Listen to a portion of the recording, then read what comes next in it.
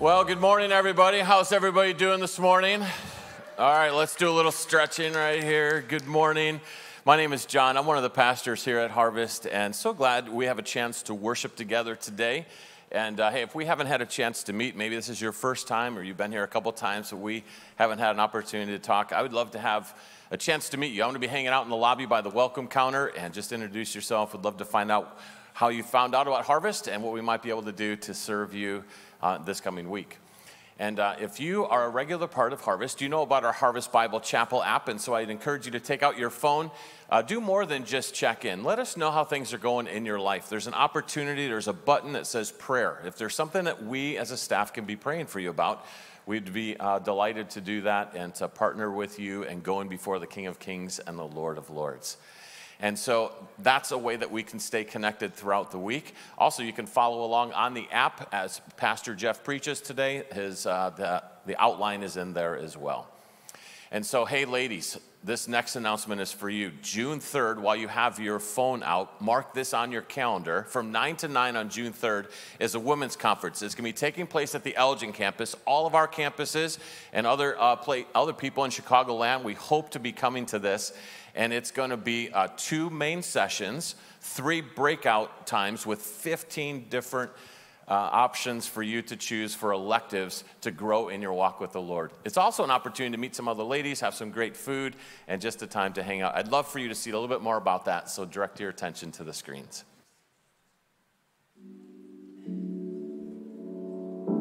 Women on Mission is a multi generational, multicultural gathering of women passionately drawing near to a loving, holy God to go on mission for Him.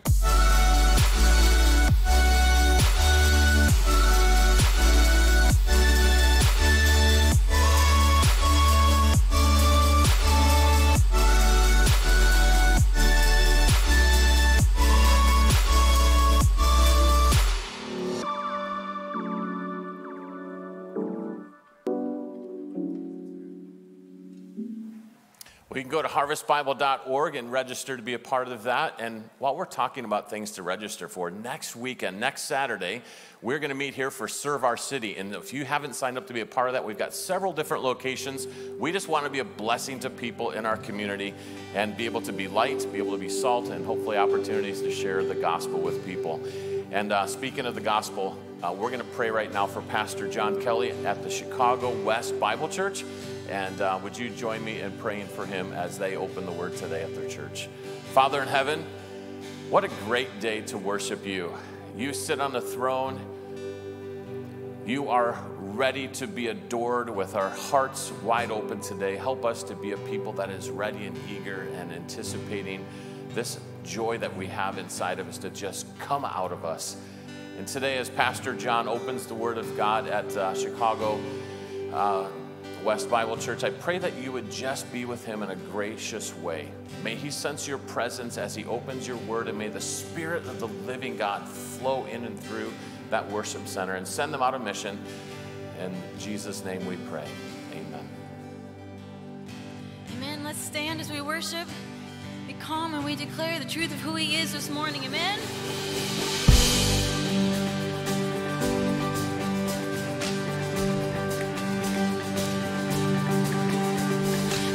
Enter the courts of the Father who knows my name,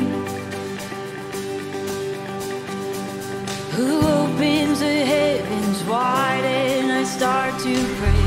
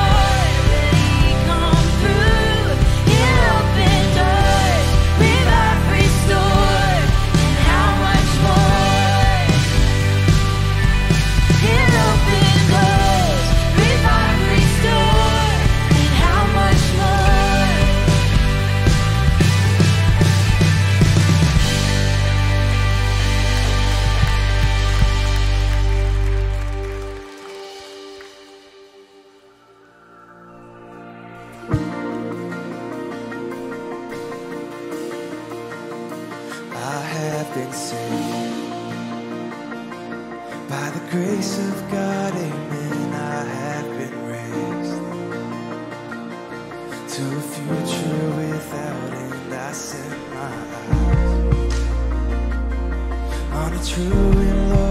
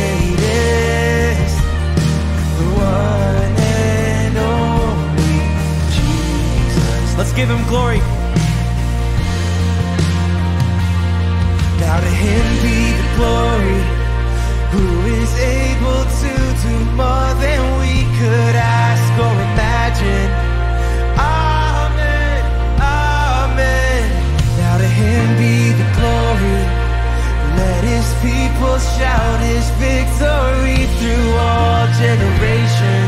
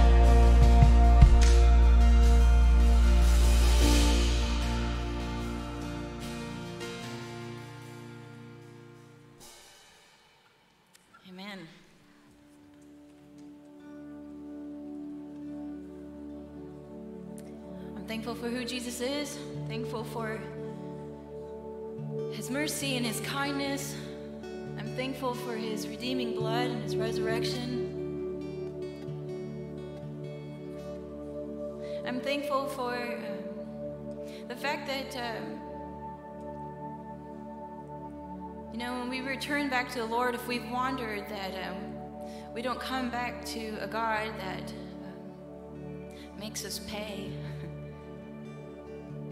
but um, because of Christ's righteousness over us, we get to run back into the arms of the Father freely. I'm so thankful for that. So before we continue, I just um, this morning as we were rehearsing, I was just thinking of this. Um, we were we were singing some different choruses up here, and um, and Ethan started singing uh, "Nothing But the Blood," and so I just want to sing that together as a church, So we just remember what He's done for us and how He's made a way. And as we're singing it, I just um, I, I just invite you to ask the Spirit to um, show you where you need to come back to Him, where you need to come home and remember the gift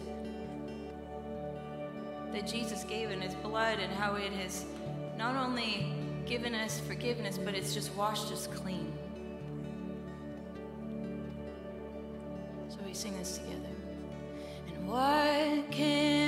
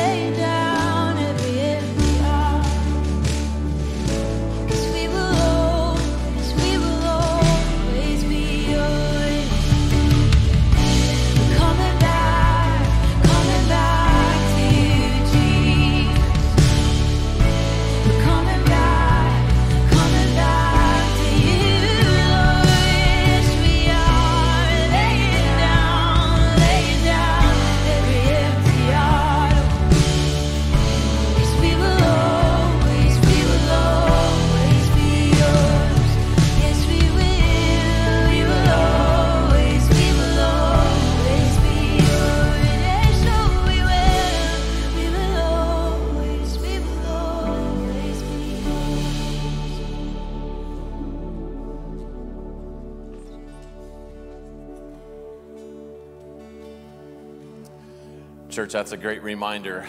What He has laid down for us is everything that we might have life. And so, communion, I'm going to ask our servers if they'll come forward and just start passing the trays down the rows. And we're going to sing in a, in a moment, and that's going to be a time for us to remember. But it's just good for us as a church. On a regular basis, He said to take this ordinance so that we could be reminded and reflect on the amazing love that Jesus had for us. And so, church, as a family, this is something we get to celebrate together. This is something we get to remember together. But it's for believers. And that's the family I'm talking about, not just our church family. And so, if you've never embraced Jesus as your Savior, why don't you let these elements pass today? And let's have a conversation at the end of church so that we can help you understand this tremendous love of Jesus that He has for all of us. He bore our sins in His body on that tree that we might die to sin and live to righteousness. By His wounds, you have been healed. And so take these elements, hold on to them. And let's, as a church, take some time as we sing this song to go to a deep place of reflection, of remembering, of gratitude for all that Jesus has done for us.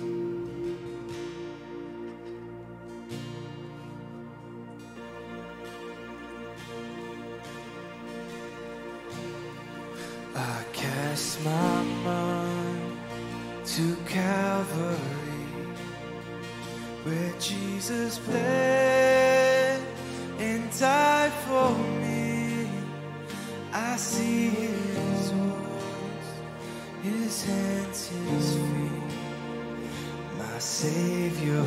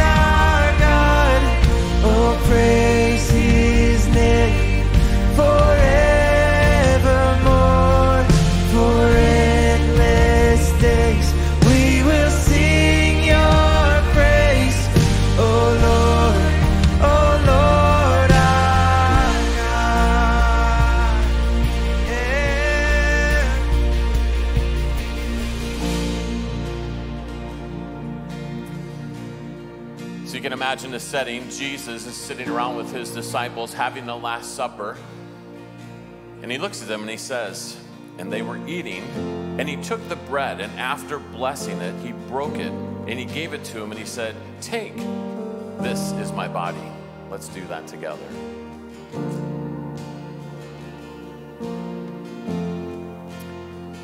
And then he took a cup, and when he had given thanks, he said to them, and he gave it to them, and they all drank it. And then he said to them, This is the blood of my covenant, which is poured out for you. Let's drink.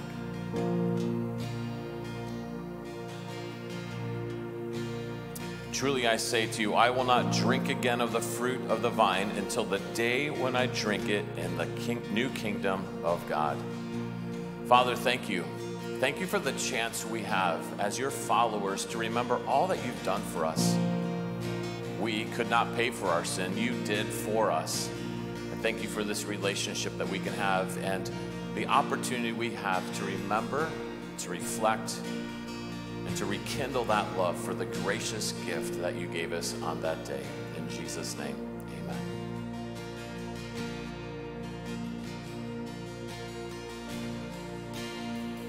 Then on the third, at break of dawn, the Son of Heaven rose again.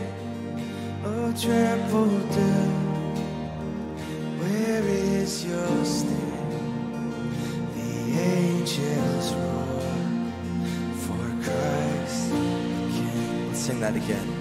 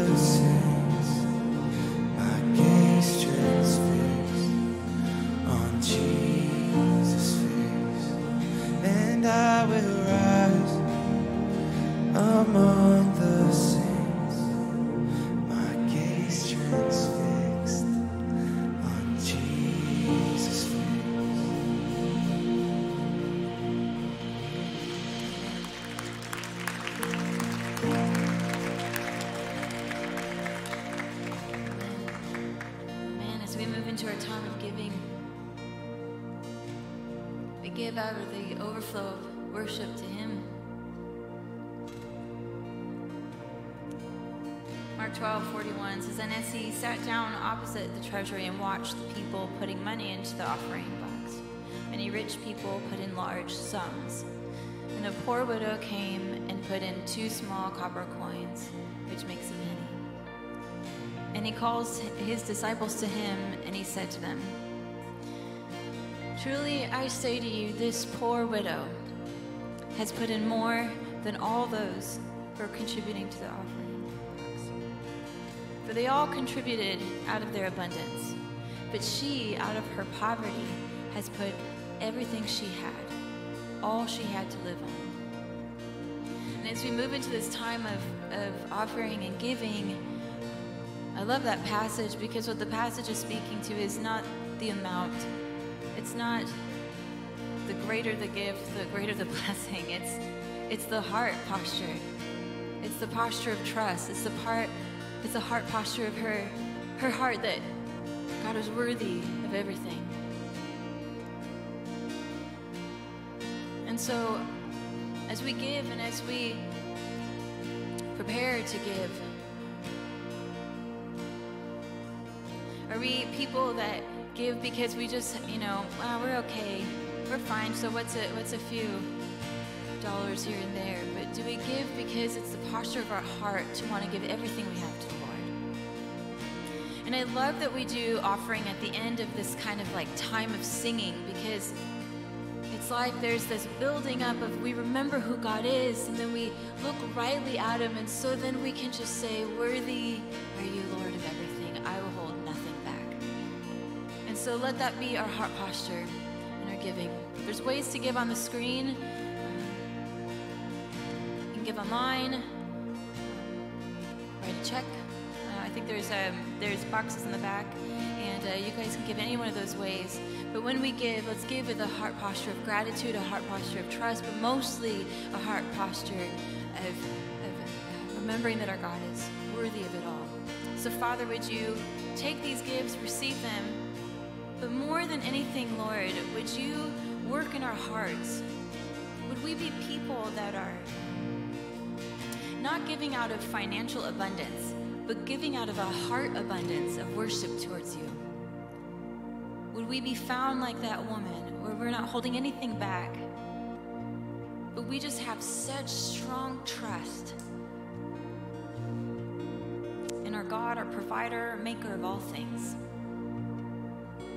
Lord, this is your church. We're your people. So would you do with it what you will? Your kingdom come, your will be done. We pray this together. Amen. Amen. You guys can grab your Bibles and take a seat.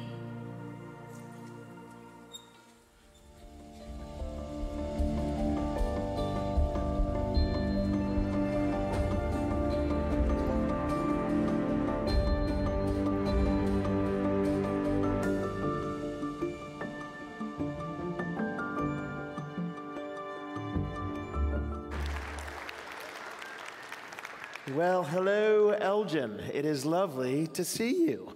It's been a little bit, and I always love being here. Uh, great to have the rest of our campuses join us. Um, you're going to need a Bible, and you're going to need to open it to 1 Corinthians chapter 15, verses 35 to 58 is where we're going to be uh, zeroing in on. We're actually getting close to the end of 1 Corinthians, and uh, I actually love these last chapters uh, because they leave me with a sense of great joy as I think about it. So I've had a really great week studying this passage, and I hope that I'll be able to pass on some of the great joy that I've had to you folks today.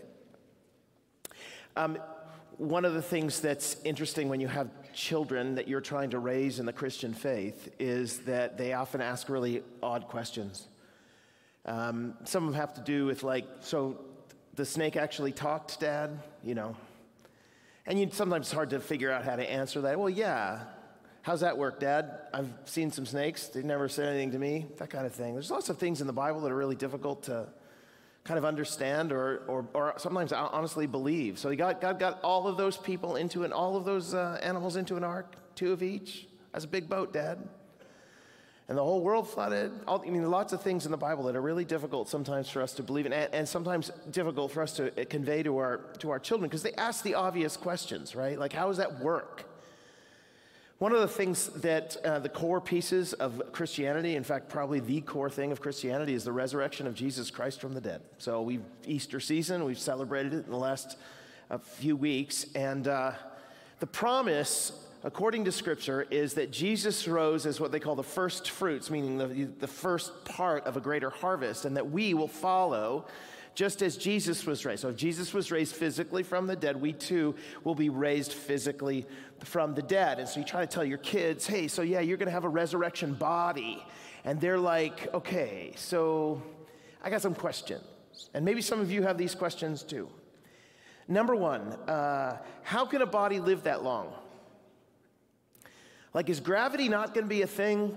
Because I don't know about you, gravity is a real enemy of mine right now.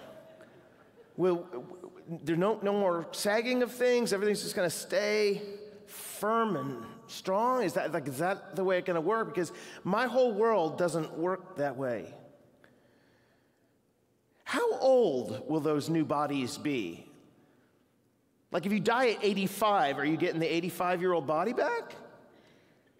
If you die at 28, you get the 28 year old body. Because if, if you die at 28, we're going to resurrection body. We should just all die at 28, right? I mean, I don't want 86 year old body back. Will I have wrinkles? Um, will we be recognizable? Like, like, some people have big scars on their faces, right? Or they have uh, a, a problem with certain aspects of their body that don't look quite the way that they want them to look. Will we still look that way? Because there's certain aspects of my body I'd, I'd like to actually not have. Like if we're voting with the Lord, if we want to have a, like a meeting together with God, God, could we get rid of the rear end? Because that would be good. But it seems like when Jesus rose from the dead, people recognized him, but then some people didn't. On the road to Emmaus, they didn't totally recognize him. So, like, is that is that going to be the way it is? There'll be some people who recognize you, and others who are like, I don't know who this guy is. And then all of a sudden, they're like, Oh, it's Jeff underneath there. Uh, will we be able to get hurt in heaven? Like if you jump off a big cliff, you see those videos of the guys with the, the suits with the flying? Will we all be able to do that? And if we land, just respawn back at the top of the hill like it's a great video game? If there's no more sorrow, pain, or tears, does that include the, the hurting of the leg? Because that would be great, by the way. I mean, if you just think about it, that would be pretty amazing, right? I'm jumping off of everything. But it doesn't seem to be, I mean, our whole world is filled with hurt and pain, and there are dangers to doing certain things. And what if, it, what, what if you just don't feel it, right? It's just, it bounces off of you. But then one day, it'd be like having leprosy in that sense that you don't have any feeling in your body. You look down and you're just covered with blood or whatever. Or will there be blood in heaven? Can I go through walls? See, I'm asking this because there's a part where Jesus actually just emerges in the middle of his disciples, and he's just like, he's there. One minute he's not there, they're in a locked room, and then he's there. How'd he get there? Through the wall? Because cool, R- right? And what about cremation? Like, so you get cremated, and then you take your body and they put it in a little pot, and you say, I want my body, uh, my ashes to be spread uh, along the, in, in, the Atlantic Ocean. And so they go out in the boat and they take your ashes and they say a prayer and they, whoo, all of your ashes go. Now, all of those ashes, the Atlantic Ocean is going to take those ashes to many different parts of the world. So at the resurrection of the dead, the people who are, who, who are buried, do they just, they just come up right away, right? With a new, are they going to be zombies? Or maybe, okay, they come up with a new resurrection body. But then what about the people who were cremated? Does that going to take a little bit longer? Like with the little speck over here or whatever? Will you be missing a nose until it comes from Saudi Arabia? right. You're saying these are dumb questions. Are they though? How does it work? It seems so unbelievable, this resurrection body. It's so outside the bounds of what we experience every day. It's so hard to believe that it is real, first of all, or that it could work. So help us, Paul. Tell us why this is a thing, why we should expect this to actually happen to us. And that's what he does in this, in this little section of First Corinthians. Um, the Corinthian church is having the same kinds of questions, to be honest with you. Their questions were a little bit more, as you'll see, a little bit more pointed than ours. I mean, I just ask those questions like, I'm really inquisitive and I want to know the answers. They ask a question and it's not quite as inquisitive, it's got a little edge to it. But in this passage, Paul really is going to try to answer the question what does the resurrection of Jesus mean for those who will follow him in a resurrection? Like, what do we get? What does the resurrection give us? What effect should it have on us? And my answer to that question as I try to organize this passage is threefold. One, I think it's going to give us a cool new body. Second, a cool new taunt. And finally, a cool new motivation. See, I could have just said body, taunt, and motivation, but when you get through here, you're like, cool. So it's a cool new body, cool new taunt, a cool new motivation. So let's, uh, let's look at it in that order. A cool new body. So here's the beginning of this passage 1 Corinthians 15, verse uh, 35. But someone, I'm circling someone because you, you, if you're reading this, you're thinking, who, Paul? Like, who, who is asking this question? Someone will ask, How are the dead raised? With what kind of body do they come? So he's creating a uh, fake debate partner, but it's fake in the sense that, hey, let's pretend there's a guy who raises this, you know, problem, and his name is Dim Talrimple. Or do, do you know what I mean? Like, you know, his name is Bo Jiden. So Paul, Paul is basically doing here, look, this is a question that is in the minds of some people. I don't want to use their names or anything like that, Donald Trump. And he puts this question, which is in their minds, in their mouths through this fake debate partner. But someone, wink, wink, probably you, will ask, how are the dead raised and with what kind of body do they come? So this is an interesting question right? You can is the question that i was just interacting with in the beginning of this right? There are two different ways you can ask a question though. One of the ways that you can ask a question is through is inquisitive. Like how how are the dead raised? With what kind of body do they come? Like an expectant like i'm really interested in this and i want to know the answer to this question. There's another way you ask a question which is more edgy, right? How are, how are the dead raised? With what kind of body do they come? One of them has a bit of an accusation in it. The other one is just looking for information. Hey, hey, what are you doing here? What are you doing here? See? So when you write it down, you don't know the difference. Now, I know that this is the edgy kind. You know why? He responds with, You fool. That's the kind of thing you say to someone who's getting all up in your grill, right? And so this imaginary debate partner's getting all up in his grill by asking questions like, okay, you say the resurrection is true of the dead. These Greek people believed that uh, the physical body was useless, and if there's anything eternal, it's the non physical part of you. That's their whole worldview. So Paul comes along and says, No, actually, you're going to have a physical, eternal physical body. And they're like, That breaks all of the rules of our worldview. Really, Paul? The physical body? How's it going to break gravity? So they got an issue with him, and he's got, obviously, an issue with them. You fool! I know the ESV here says, you foolish person. It's making it sound kind of nicer. The, the, the language is, you, you, fool. Now, that's not a nice thing to say to people in the Bible. It, it's not. It's, uh, you know, go through all of Proverbs and it compares the wise and the fool. You don't want to be the fool. The fool is the bad, the bad guy. What defines a fool as a fool, though? Well, actually, the scriptures give a definition of a fool. Like, what makes a fool a fool? Well, Proverbs 14, verse 1 The fool says in his heart, There is no God. What makes a fool a fool? Well, they, they think or act atheistically. Now, I'm not just saying that they're, I'm not saying they're atheists. Atheists are fool, according, fools according to the Bible because they're so uh, blind or, you know, entrenched in the belief that there is no God and it influences their whole, their whole life. And what, you know, the book of Proverbs is saying, like, yeah, that's basically the way that fools live. They, they don't think there's a judgment. They don't think that there's a God they have to answer to. They don't think there's a God who made them. They just sort of kind of make up the rules as they go. And you're a fool if you do that.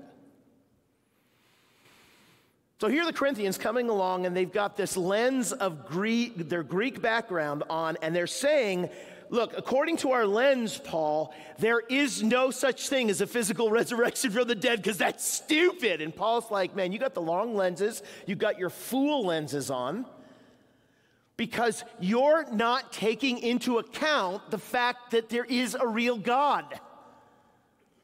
You're thinking the world exists in this closed system where, yes, physical is bad and non physical is good. But what if there's a God in heaven who actually can make a body that could last a long time? Huh? Oh, I, I, didn't think about it. Right, you didn't think about it. You know why? Because you're a fool. Listen very closely to me. You and I sometimes act like fools, think like fools. And you say, well, when do we do that? Uh, we act and think like fools when we assume in our questions toward God that he's not involved. You assume atheism in your questions toward God. Well, this ark couldn't work, clearly, according to the rules of science. Yeah, I know. But God, right? So, so think this through for me. Uh, what is, what it, practically speaking, what does a fool look like? It's a great story about one in the Bible. Uh, this is out of uh, Luke's gospel. And he told them a parable. Jesus, of course, being he. He told them a parable. Okay, the land of a rich man produced plentifully. And he thought to himself, okay, so I want you to notice as we go through with this what characters are involved in this story. Uh, a land of a rich man. Oh, there he is. That's, that's one character, produced plentifully. And he thought to himself, What shall I do? For I have nowhere to store my crops. And, and he said, I will do this. I will tear down my barns and build larger ones. And there I will store all of my grain and my goods. And I will say to my soul, which I have named, he's called soul. Soul, which is actually still him. You, which is me, have ample goods laid up for many years. Relax, eat, drink, be merry. But God said to him, Fool. Why is he a fool? Because his whole world of planning and all his assumptions about what he's supposed to do with his money are atheistic. I am the only person who exists in this whole world. In fact, I've named somebody else. I get lonely, so I've named my soul Soul so I can talk to it like Wilson. Hello, soul, soul, right? So here's a guy who views his money this way. Do you ever view your money that way? You ever think that uh, I, I made it, it's for me? Right, what, what do you call that kind of thinking? Well, athe- it's kind of atheistic because you assume that the only person in the world that could benefit from the money that you have is you, and that you might not be a conduit for other people because the other people don't actually exist. So you're acting atheistically. What do you call someone like that? Where's the Bible call someone like that? A fool. Uh, so imagine that there's a person uh, who is desperately worried about their finances. Will I ever have enough? Will the Lord take care of me? I better plan better. I better have this taken care of. You know, the end of this passage right here, if you keep going down all the way, it says, uh, it, it, says, um, um, it, my mind is totally forgotten what it says, but it is. All these things shall be added to you, right? Seek first his kingdom and his righteousness, and all of these things shall be added unto you. The problem with the guy is that he is assuming that there is no God. And sometimes in our planning and our thinking about finance, we think there is no God. All there is is my planning and my careful preparation. No, no. The Lord could come out of nowhere and drop thousands of dollars in your bank. But you don't assume that. And so you end up hoarding the money in case you need it later.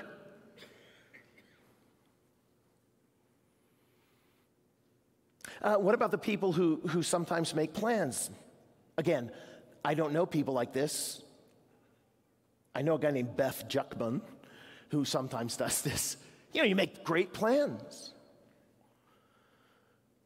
I, am going to have children, and the children are going to be at this date on this year. You know, we're going to have one in 2023, 2025, 2027, 2029, and 2031. And at that point, we're not going to have any more. And all of those children will grow up to love Jesus and play professional football. And then your kids grow up and they're not playing professional football, right? One of them wants to be an artist. And so you're like, oh my goodness, what happened to my plan? Or maybe you just decided that you were going to build a business and it was going to go a particular way and it didn't go that way. Or you wanted to plant a church and it didn't go that way. Or your kids didn't do exactly what you wanted them to do. You, you had a plan and it took a, it took a hook. And you're like, I can't believe my planning didn't work out. What was your problem in the planning? Yeah, if the Lord wills, we will do this or that. What do you call somebody who makes all of these grand plans and they don't come to fruition and they're angry about it? What, is what have they done? Well, they've left God out of the picture. What do you call those people? Well, you call them a fool. Look, here's the thing uh, don't be a fool. Just at the very beginning of this, I just want to establish don't be a fool. You don't need to leave God out of your planning. You don't need to think, leave God out of your thinking about money. You don't need to think, leave God out of all the worries that you have in your life. He has promised that He loves you, will take care of you. Even though you walk through the valley of the shadow of death, I am with you, He says. My rod and staff will comfort you.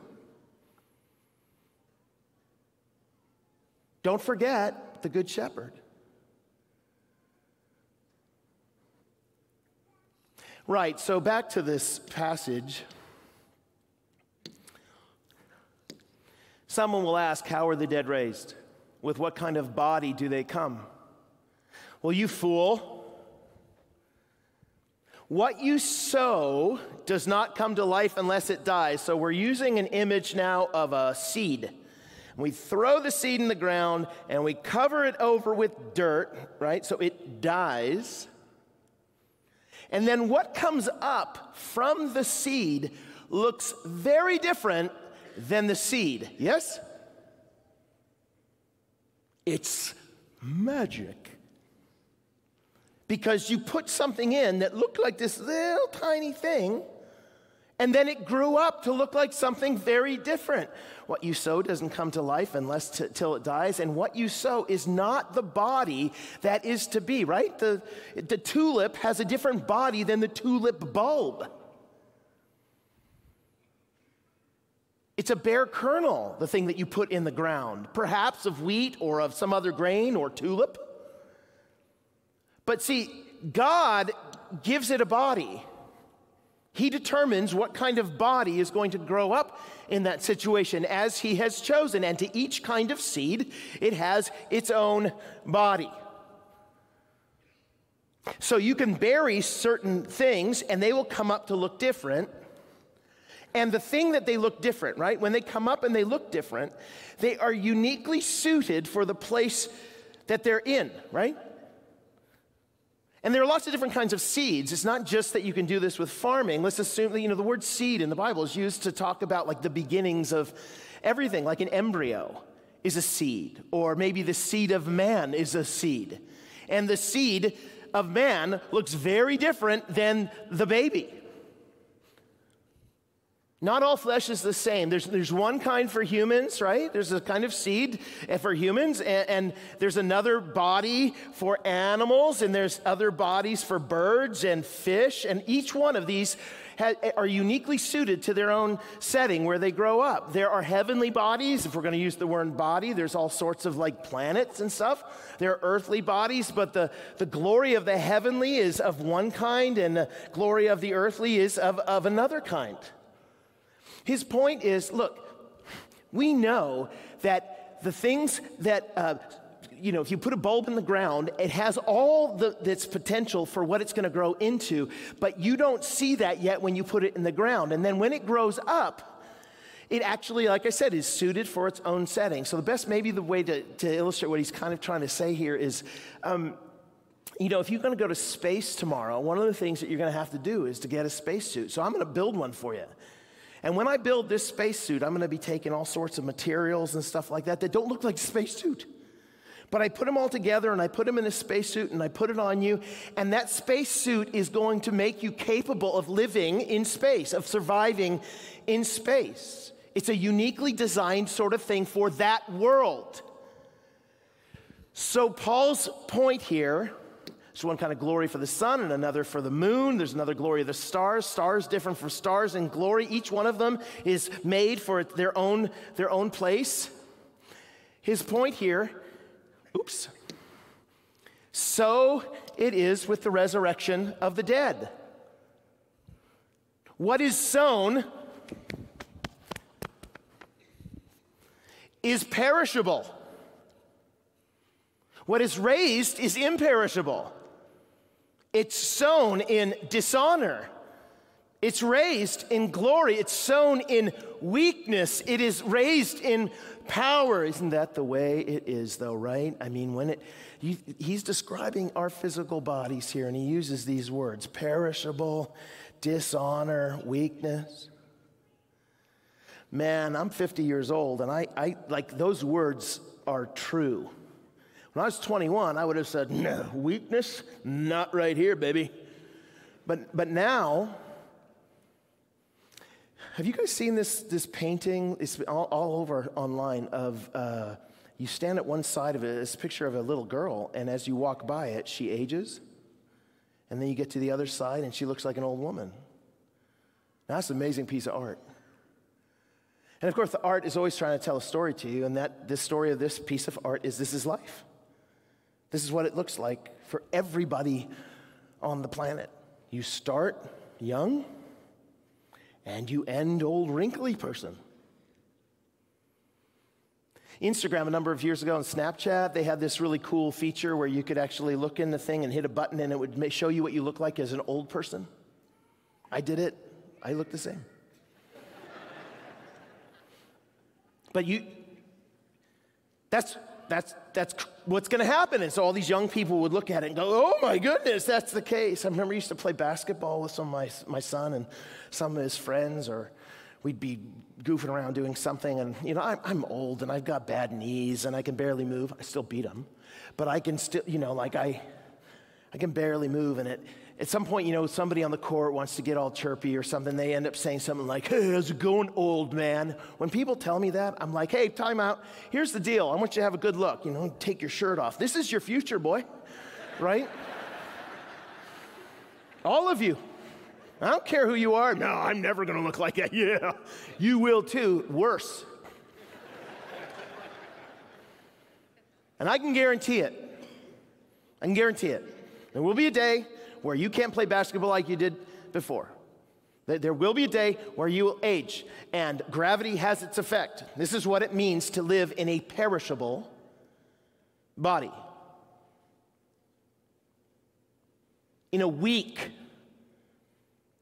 body, which is a word that's actually used in the Bible to talk more about illness. I was actually, there was a number of years ago, this, this, I, I was at a camp and this ball, roll, soccer ball rolled to me. I love soccer, right? Soccer ball was rolling to me. Put my foot, I planted my foot. I turned around and I tried to kick the ball.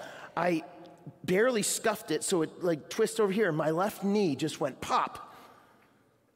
For this movement, I better be careful.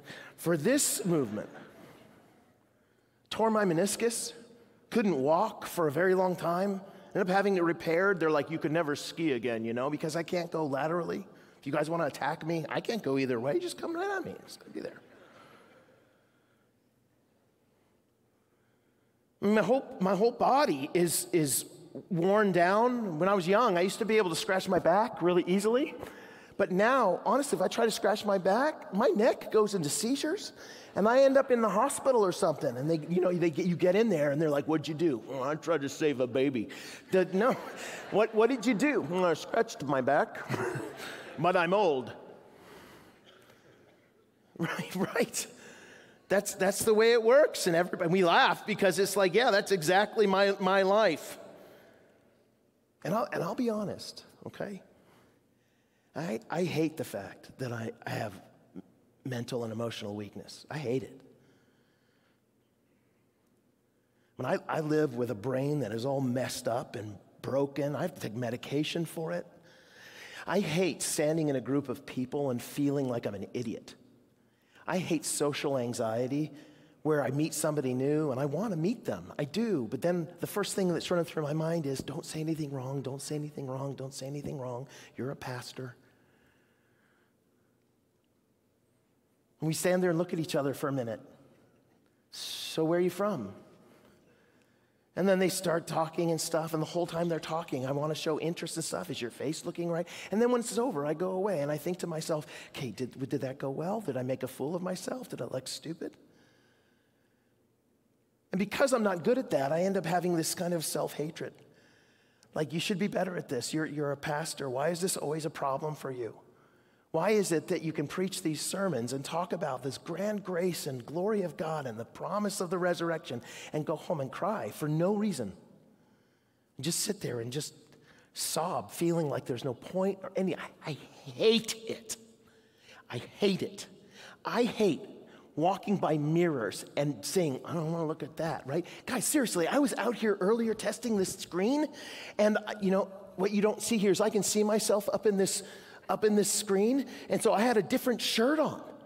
And I came over here and I said, Whose rear end is that? That thing's like blocking out the whole. So I wore a different shirt, right? And it's still a problem. I hate it. I hate all of it. I hate all of it. This is, this is my life. And yet, what this passage is saying is yes, yes, what is sown, what's going to die is that thing, that perishable thing. But look, what is raised is what? Imperishable. Not worn down, not prone to decay. What is raised is in glory. It's a glorious, remarkable, beautiful uh, thing. Oh, you killed me. It's sown in weakness and, and it's raised in power. You know what that word means? It's, it's a Greek word dunamis. I mean, dynamite. You're gonna have a dynamite body. Can you imagine that? A dynamite body, me. Right? I'd avoid mirrors now and be walking by, oh yeah, you know? That's amazing. It's, it's, it's fantastic, uh, everlasting, sinless, physically and mentally dynamite body. There's a scene in Avatar, the first Avatar, where the main character, he's lost use of his legs because he was a, a soldier. And he's in a wheelchair all the time on Pandora, this big, this big planet somewhere. And so he can control this avatar, this big blue avatar, which is actually a physical thing. And, but the way he does it, he lays down his bad body in this in this tube basically that reads his mind and he transports him into the mind and consciousness of this avatar. And the scene when he first does it is he's laying there and then he gets up in the body, right? He can't get up out of the thing because he's, he's lame, and, but he gets up with the body and he's like realizing, I have legs. I have legs. And everyone's like, well, just this is a little test run. We just want to sit here and just kind of stretch for a little bit and then we'll send you back. And this guy's like, whatever. He throws all the stuff off and he starts running out the door and breaking through things. Woo! That's what I'm going to be like. That's what you're going to be like. Seriously, can you imagine not, not having any social anxiety at all? Can you imagine what it's going to be like to never get tired.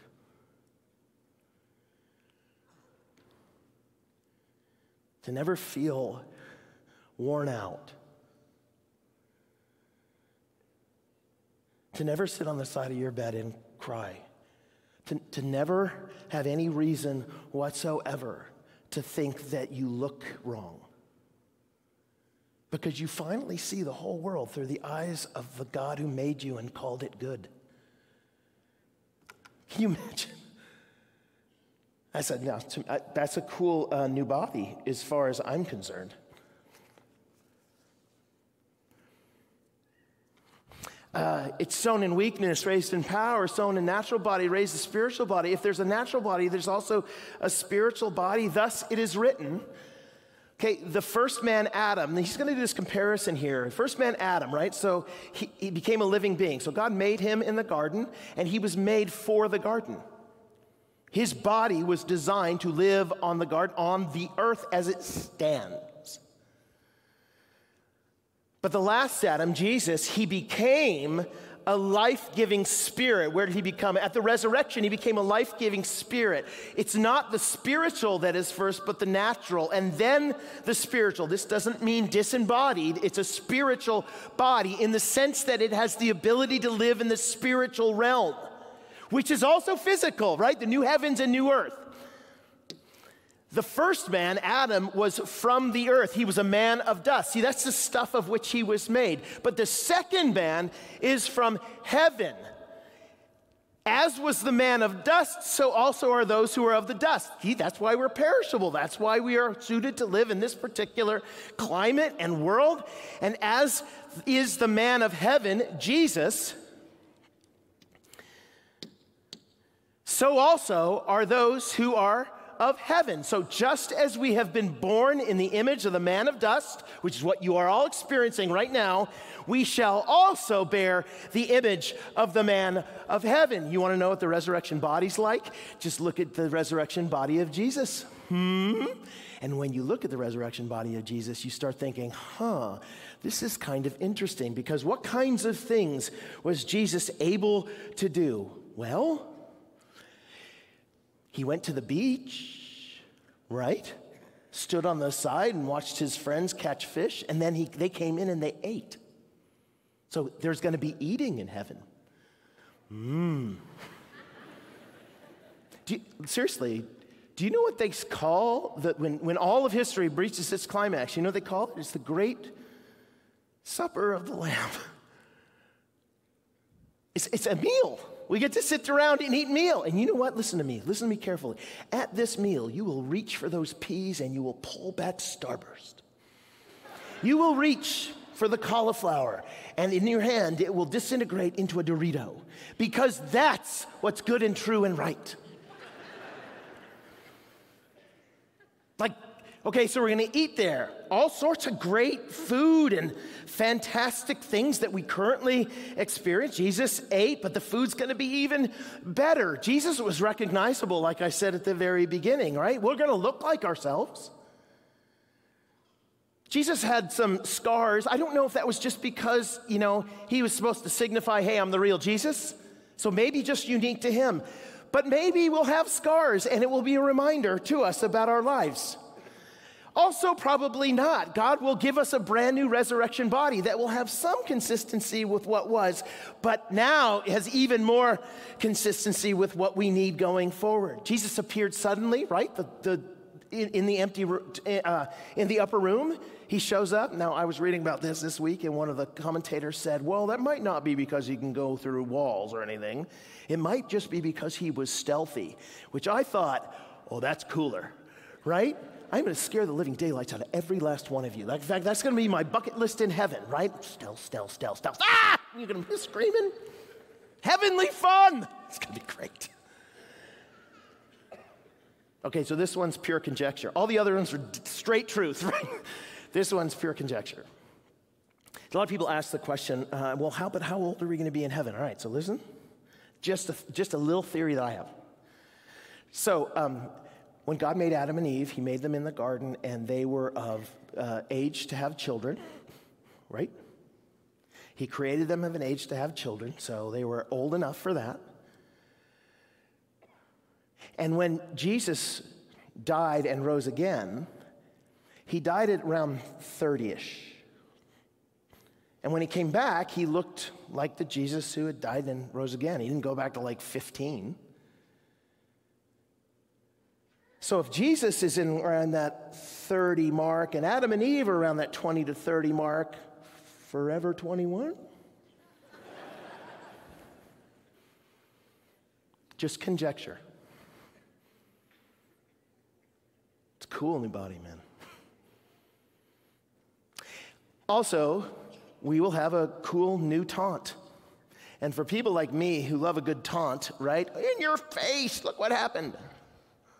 I tell you this, brothers. Flesh and blood cannot inherit the kingdom of God, meaning that uh, your body as it currently functions, the flesh and blood that you currently have, it cannot inherit the kingdom of God, nor does the perishable inherit the imperishable. Behold, I tell you a mystery. He doesn't mean like, I don't know, just trust me on this. He's saying, look, this is something we didn't know before Christ came, but now th- this mystery has been, has been revealed in Jesus. I tell you a mystery. We shall not all sleep. So there are going to be some people who are alive. This is Paul's word to talk about the death of Christians, right? Not everyone is going to fall asleep as a Christian. Some people will be alive when this happened, and for those people, when Jesus returned, they're going to be changed like this. We, we shall all be changed. In a moment, in the, we, we use the word blink here, in the blink of an eye, at the last trumpet, it's a great picture, trumpet, because in throughout the scriptures, that's actually what's used to signal the last battle. So you have all sorts of passages that talk about trumpets and what happens when the trumpet blows, then the Lord will appear over them. This is in Zechariah 9. The Lord will appear over them, and his arrow will go forth like lightning. The Lord God will sound the trumpet and will, what? March forth on the whirlwinds of the south, right? He's coming, man. Like a whirlwind, like a tornado, baby, when the trumpet goes.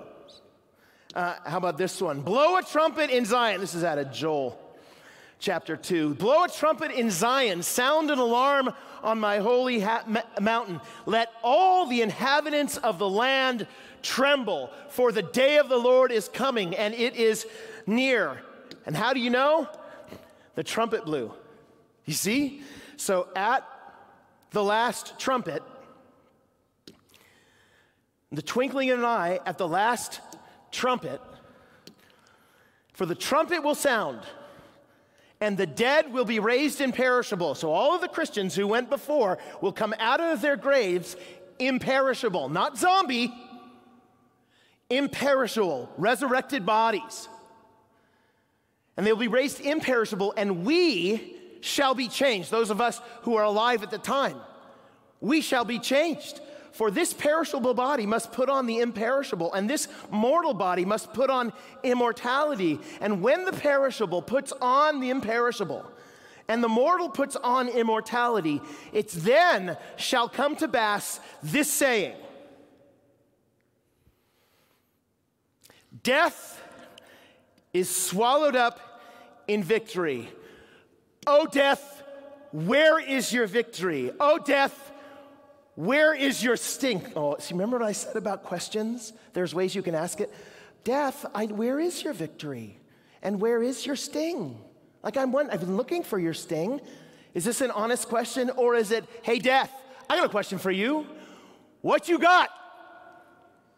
Oh, where's your victory? This death that has taunted us our whole lives. We've had to sit by and watch our loved ones be eaten by it. And death stands over us and says, I own you. I will always own you. You have to have something to do with me. But at this moment, the death that taunts us, we can stand up and go, Oh, not anymore, brother. Now that's a good taunt. See, now listen, my, my friends, my friend and I, we were playing, uh, we, we, like, we watched basketball together a number of years ago, right? So this was in the early days of the DVR. So it was not that long ago. But anyway, I, I had actually, he said, well, we're going to get together tonight and watch the game. But the game had started like an hour earlier. So we were watching on delay, and it was like, it's fine. Um, I was checking the score on my phone because I'm a cheater like that. We were going to watch it together. No cheating, he said. So I checked it on the phone, and I went to the bathroom, and I noticed that we won. My team, which was down by 20 at one point, came back and won on a last minute three point shot. But we were behind the whole game. So I walked back in and I was like, oh, okay, because he'd been taunting me about how much better his team was the whole time. I had nothing to say because my team stunk. So I sat down on the, on the couch, and every time they scored, he'd be like, oh, yeah, you're, you come on. Do his little dance around the room. Game got down, we started getting closer. I'd be like, getting a little bit closer. And he'd be like, no, it's not going to get close. You guys stink. It's not, we're going to pull this out. And then at the end, my team scored like 10 points in the last minute.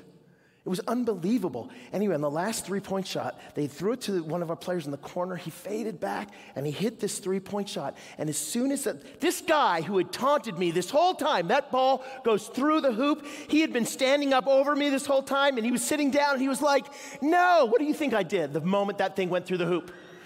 What's up? Come on! What you got, taunting a little, mm, right? That's, that's what we'll do to death. In your face, death. Thought you had us? Nah. Nah, Jesus beat you, boy. And so will we. Last one, okay? We also then have a cool new motivation.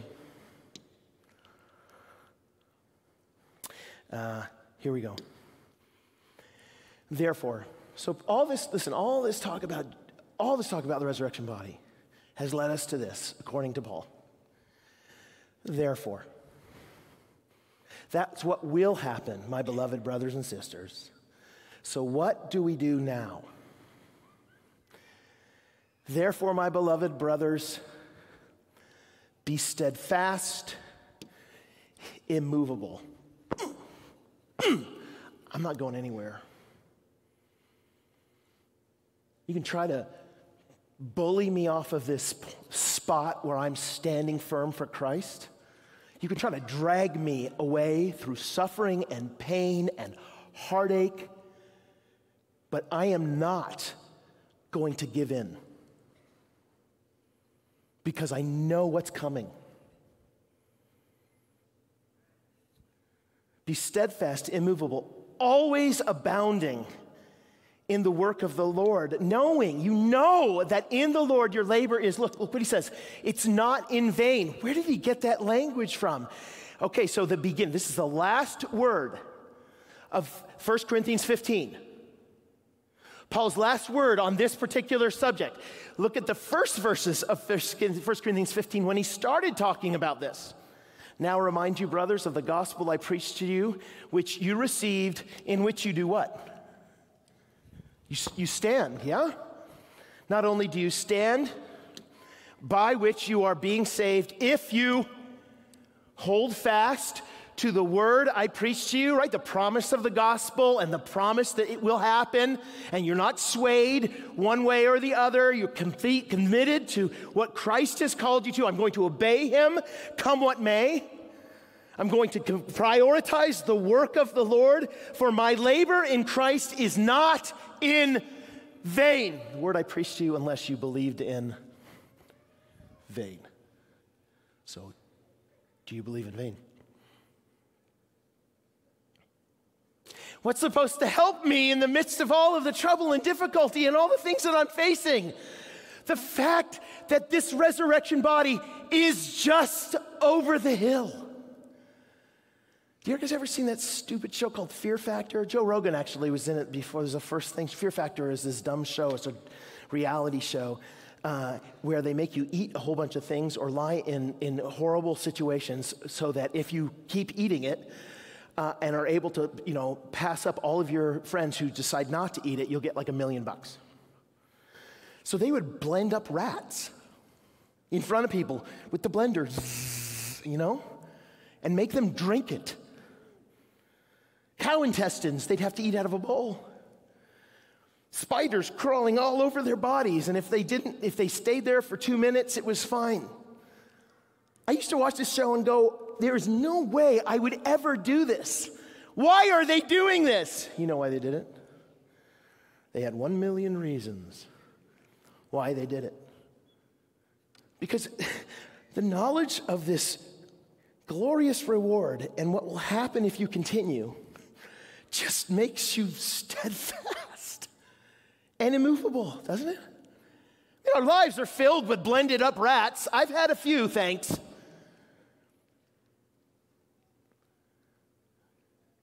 I do not consider the sufferings of this present age worthy to be compared with the glory that will be revealed in us. Oh, I finished with this. Listen, um, there was I was at a wedding yesterday. Dear couple from our church got married and I was, uh, I had to actually race immediately after the wedding to go and preach at the service last night.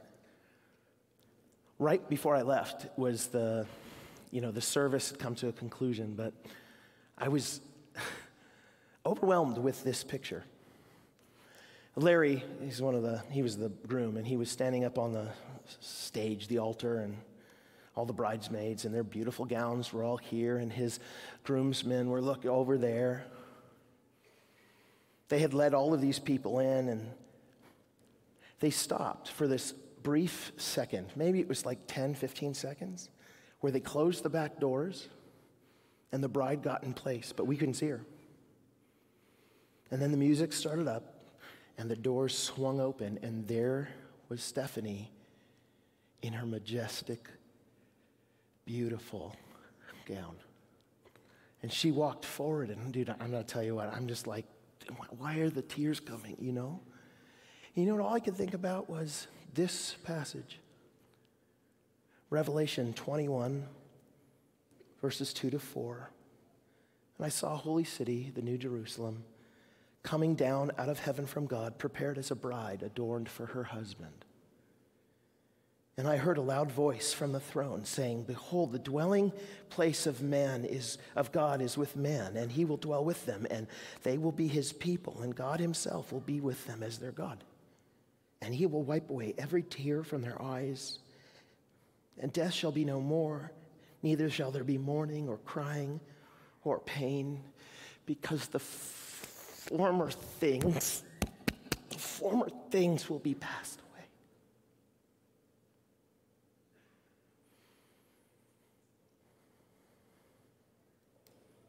Let me pray. Father, I'm thankful for the promise of eternity. And I'm thankful, Father, what it's supposed to produce in us. And so I pray that it would produce it in us. Find us, Father, immovable and steadfast and willing to keep going no matter what, because you have both filled us with your spirit to make that happen. And I pray, Spirit, that the way that you would do it is keep reminding us of the glory that is to come. Help us to set our minds on things above, not on earthly things. Help us to be people of the heavenly realm, Father, so that we can be better people of the earthly realm. Help us, Lord. And more than anything, come, Lord Jesus. The Spirit and bride say, Come. We pray in Jesus' name. Amen. Amen. Let's stand. Let's sing a song. Worship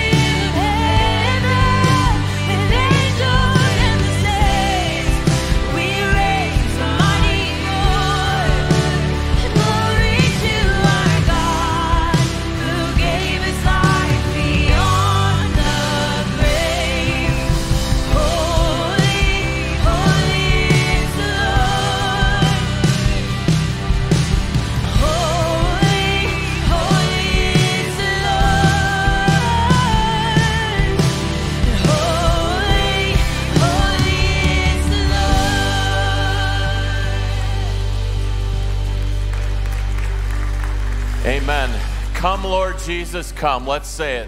Come, Lord Jesus, come. But until he comes, we've got some work to do. Be steadfast, immovable, always abounding in the work of the Lord. Be steadfast, immovable, always abounding in the work of the Lord.